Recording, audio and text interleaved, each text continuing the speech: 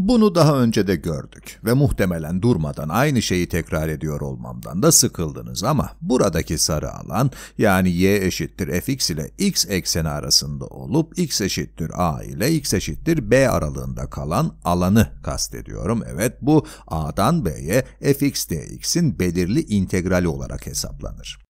Bu videoda eğrinin altında kalan alanın fx'in ölçeklendirilmiş bir versiyonu yani skaler bir katı için ne anlama geldiği hakkında fikir yürütmek istiyorum. Ki bu konuda daha önce düşünüp kendi kendinize bir cevapta bulmuş olma ihtimaliniz var. Ama y'yi c çarpı fx yani fx'i bir skaler ile çarptığımız şekilde düşünelim. Bu herhangi bir sayı olabilir ama grafik üzerinde daha kolay gösterebilmek için c'nin şimdilik 3'e eşit olduğunu varsayalım. Evet, bu uzaklık bunun yerine 3 katı olacak. Bunun yerine burası. Bunun yerine buraya geleceğiz ve böylece eğriyi de bu şekilde çizmiş olacağız. Çok düzgün bir çizim olmuyor ama çizdiğim şeyin fx'in yaklaşık olarak 3 katı olduğunu söyleyebilirim. Buradaki uzaklık ise evet 2 katı 3 katı buraya gelecek.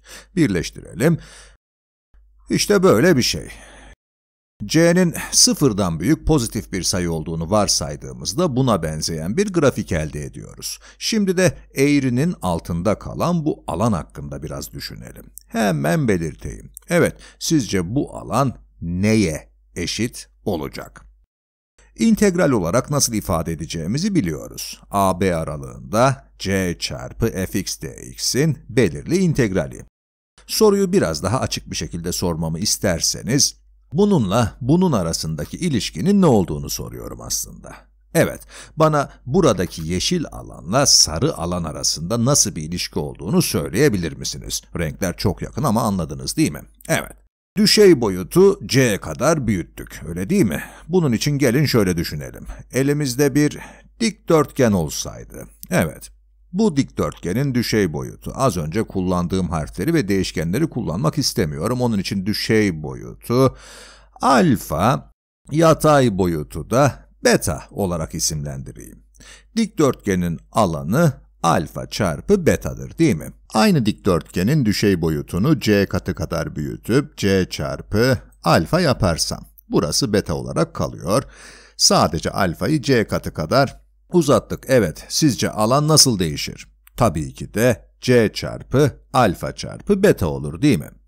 Bunu kenarlardan birini ölçeklendirdiğimizde alanın da aynı şekilde ölçeklendirmemiz gerektiği şeklinde de yorumlayabiliriz düşey boyutu c katına çıkardığımızda ki bunun fx için de aynı anlama geldiğini görebiliyorsunuz değil mi?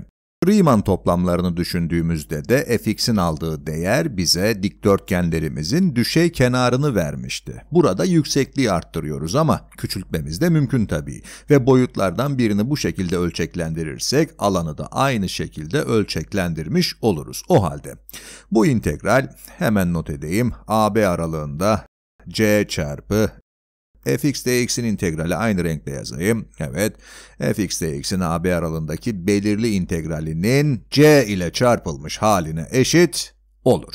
Evet, tamı tamına c katı. İntegralin içindeki sabit sayıyı integralin dışına çıkarabildiğimizi biliyorsunuz. Bu her ne kadar tam bir ispat olmasa da bize bunu neden yapabildiğimiz hakkında en azından bir fikir veriyor.